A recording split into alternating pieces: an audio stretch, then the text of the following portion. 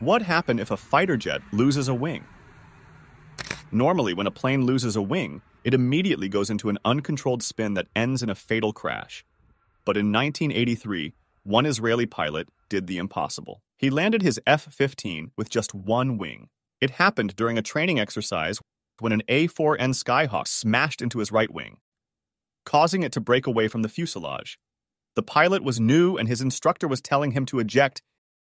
Instead, he did the opposite. He hit the afterburners in order to stabilize the aircraft and headed straight for the runway 10 miles away. In order to avoid spinning, he had to keep his speed up, which meant he came in at 300 miles per hour. As he touched down, the arresting wire snapped on impact. Miraculously, he stopped just short of the barricade. It was only after he climbed out that he realized he was missing a wing.